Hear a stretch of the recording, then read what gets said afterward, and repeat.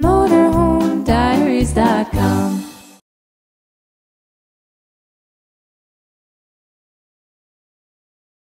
Good morning, Markova Chris. We are in the RV that is the Motorhome Diaries. This morning I'm joined by Adam Mueller, Pete Eyre, and Jason Talley. And they have been traveling the country, been to several states already in search of freedom in America. And I'm going to ask first of all, um, what you would say, talking about freedom in America, you know, specifically have lots of freedom in America. What are you exactly talking about? Well, we believe in freedom on all issues at all times. We believe individuals should be free to act up until the point that they initiate force against somebody else. So right now there's a lot of man-made legislation on the books that would uh, that's in direct conflict with that. We, we believe as long as you're acting morally and you're not harming anybody, you should be free to do so. And now are you for less government, no government? What exactly are you for? Um, you know, I'll, I'll take any of the above. What we advocate is a voluntary society where government doesn't get in between people's peaceful actions. So uh, it, we call it a, a peaceful evolution.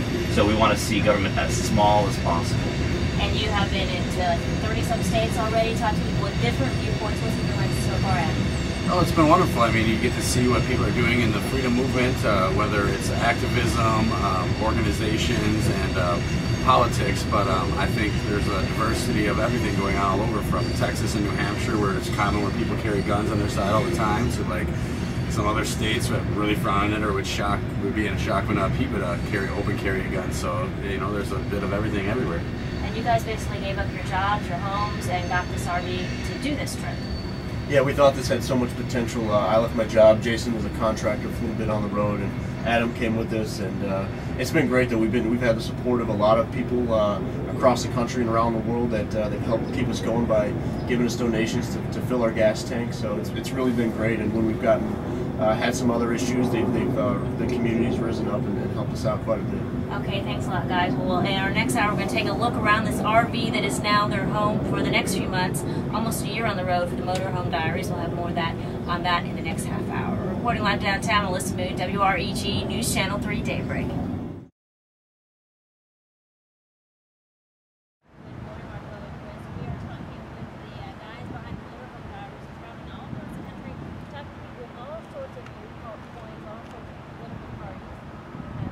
Want people to live peacefully, um, you know, and, and uh, we find that uh, you know government is a, a huge obstacle to that with like, so many edicts and rules. Voluntary society re- relies on like communities and uh, your friends, family, uh, that mix, and uh, we've got to see that firsthand. You know, people come out to the meetups, they support us. People open their homes up to us, allow us to like uh, shower, eat, use internet, all kinds of things. I mean, gas money, uh, the works. So uh, it's it's really nice just to see the the kindness that everyone has, and should be so uh, essential in a voluntary society.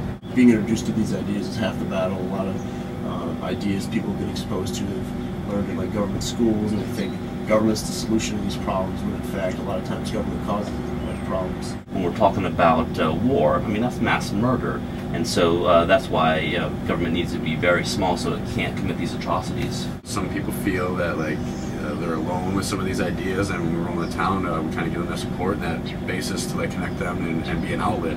We're just trying to get people to think for themselves and really question stuff, and uh, hopefully um, advance this uh, to a volunteer society, just to one where there's self-government. People know that uh, um, murdering and uh, theft and fraud are, are wrong, and that uh, you know you don't, you don't need to be told not to do these things. I would rather just uh, live morally and uh, live my life uh, free as long as I don't initiate force on anyone else, and I believe everyone else should be able to do the same. I mean, we're moving in the right direction. There's setbacks uh, from time to time, but we are moving in the right direction. So I think, especially now with the internet and technology, people are able to uh, break geographical boundaries and share ideas without government censorship. We know it's a long process. We just want to talk to you know one person at a time and uh, have them uh, you know uh, embrace these ideas of voluntary society. Have them you know stop allowing themselves to be controlled and trying to stop controlling other people. There's not a time when we're going to be able to declare victory and say, yes, we found freedom. I think it's uh, Jefferson said, uh, the price of freedom is eternal vigilance.